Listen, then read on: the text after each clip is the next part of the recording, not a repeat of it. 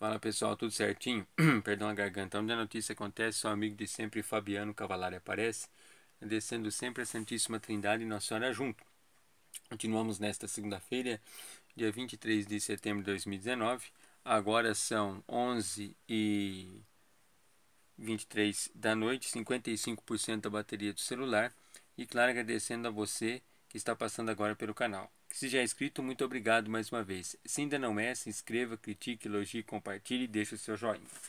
Outra notícia para o nosso canal é lá, vídeo para o canal Fabiano Cavalari, esse que eu estou fazendo agora no YouTube. Então vamos lá, eu não gosto de ler, porém tem que rascunhar, tem que pautar, né?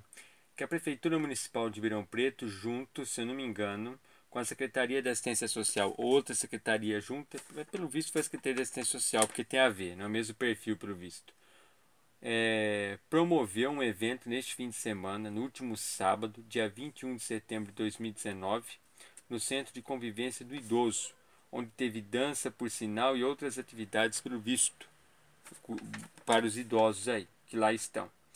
Bom, notícia que foi divulgada no status do WhatsApp, me parece que na manhã deste último domingo, dia 22 de setembro de 2019, no período da manhã, por sinal.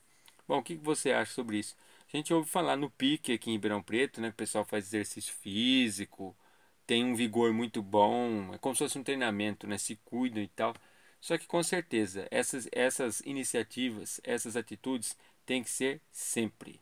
Não é. Bom, não sei desde quando acontece. Eu conheço o pique que eu sei que acontece sempre. Agora, esse evento eu fiquei sabendo também muito recentemente. Mas que aconteçam mais. O que você acha sobre isso? Eu volto já com o pedido de um torcedor. Segura aí.